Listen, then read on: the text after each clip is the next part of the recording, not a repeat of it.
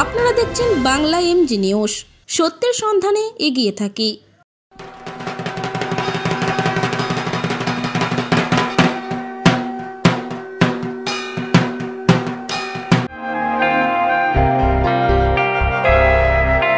বাজলো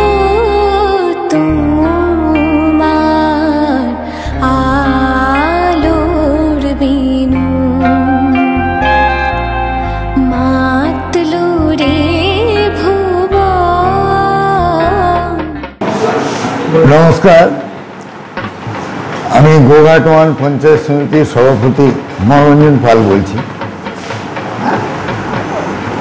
আমি আসন্ন শারদীয়ার দীপাবলি ও ছট পূজা উপলক্ষে আমি শুধু গ্রামবাসীকে হার্দিক শুভেচ্ছা এবং অভিনন্দন জানাই। উৎসবের দিনগুলো প্রত্যেকে আনন্দে থাকুন, পরিবেশ পরিষ্কার, পরিচ্ছন্নতা বজায় রেখে প্রত্যেকে সুস্থ থাকুন, এই কামনা করি। নমস্কার।